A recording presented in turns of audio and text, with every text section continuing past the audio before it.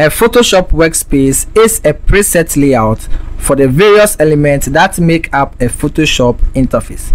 Now, this relates to the display of panels and its arrangement. This workspace can also change which tools are available in the toolbar and how the toolbar is organized. Custom menus and custom keyboard shortcuts can be included in a created and saved Photoshop workspace. Now, why do we need personal workspace? This is because it gives us a way to customize Photoshop interface for specific tasks and best match our daily operations. Now, this is the home screen of Adobe Photoshop and if I want to get to the workspace of Adobe Photoshop, I'm going to click on this icon. If you want to learn more about home screen, I have a link of a video in the description below please check it out after watching this video i'm going to click on this icon. Now this takes me to the workspace of adobe photoshop. And in this workspace this is the arrangement of the toolbar the panels that we have here and also other tools which are placed in this section. Now if you want to identify a workspace you are working within you move to the top right corner and we have this icon which is the workspace icon and when they click on the drop down arrow you see these options here. And currently essentials is checked. These are other workspace you can choose from. And this is set to essentials. And this is the arrangement and also organization of this workspace. Now for you to get a clear understanding of this workspace when i choose 3d you can see that the workspace has changed. When you look at this toolbar it is now in the vertical form that is one column and this is also arranged in a different format. If i choose graphic and web this also change according to the graphic and web and this also comes along with its arrangement of panels and tools as well as menus when I go to this option and choose motion you can see that we have a different workspace given to the motion. And if you want to work within the motion it means you have to choose the motion workspace. And when I move back and choose painting this gives me the workspace of painting. And if I move back and choose photography this is also the workspace of photography. So play along with all these default workspace which are available. You get its workspace displayed within adobe photoshop. Now if i move back and choose essentials now i get back to the default workspace i created these are the workspace or these are the default workspace you can choose. How can we create our personal workspace? This is for you to create a personal workspace that works best for you so that when you are working within adobe photoshop it makes the work very easier for you based on the kind of work or operation that is done within adobe photoshop.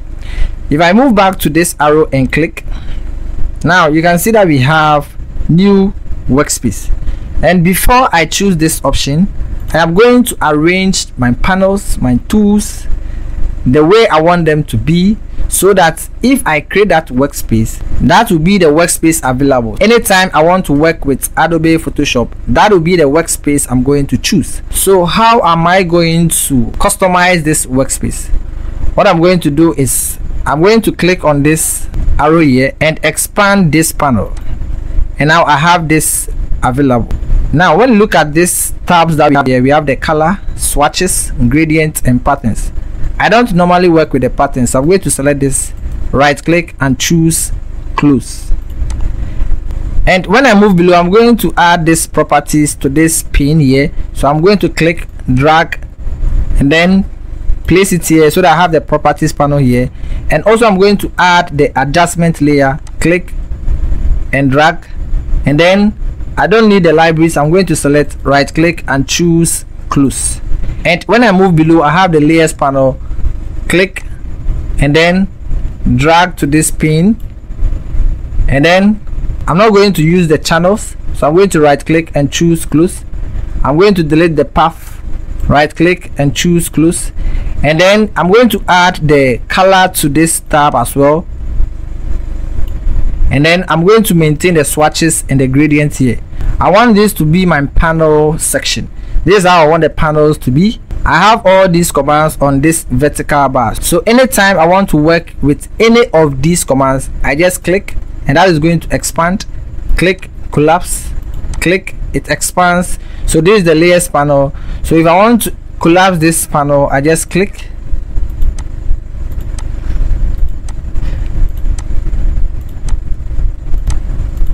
so this is how i want the panel section to be. And i'm going to maintain the two column for the toolbar. And let's assume that i am done with the customization of this interface or this workspace. We have a lot of options we can do. We can even go to the windows tab choose workspace and choose keyboard shortcut. And if i have this window i can customize some keyboard shortcut in this window. And when i save this particular workspace that is going to take effect. So this is also a preference to you if you want to change any of these keyboard shortcuts. I personally i want to maintain all the default shortcuts which i am familiar with. So if you want to change the shortcut you can also move to this window change them and save it along with your workspace. So let's assume that i have done all these modifications here. I'm going to click on ok. And then now i want to save this particular workspace. So what i'm going to do is move back to this arrow and choose new workspace. And i'm going to give a name to this workspace.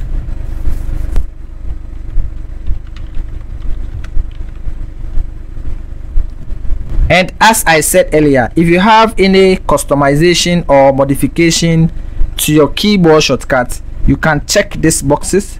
If you have any customization to your toolbar you can check.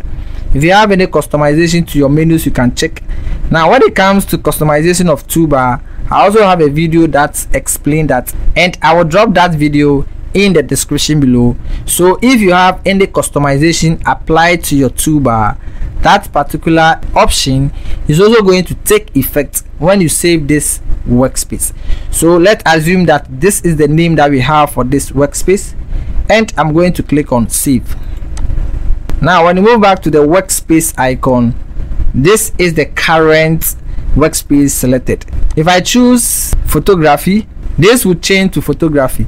But if i move back and choose the one that i just created then this will take me back to the created workspace that we had in Adobe Photoshop. You can choose any of this workspace so if I want to work with the 3d I'm going to choose 3d if I want to work with photography I'm going to work with photography. And if I want to delete this workspace I'm going to click on this choose delete workspace. And I have that option displayed here. And then I'm going to click on delete. If you don't have that option here you can click on the drop down arrow and you're going to have a list of created workspace. You choose the one that you want to delete then you choose delete. You have this option you can choose yes and now that workspace is deleted. When you move back to the workspace we don't have the created workspace here. And if you want to create a new workspace you can easily do that in this pane. So this is how to customize workspace create a workspace and also to delete a workspace. So if you want to have your personal workspace i believe this video is giving out a full explanation and practical experiment on how to have your personal workspace in adobe photoshop. Hope this video is of helpful. Please like share and also comment. Please comment in the comment section. Let me hear from you and i'm always ready to collaborate with you thank you for watching this video and we shall meet in our next video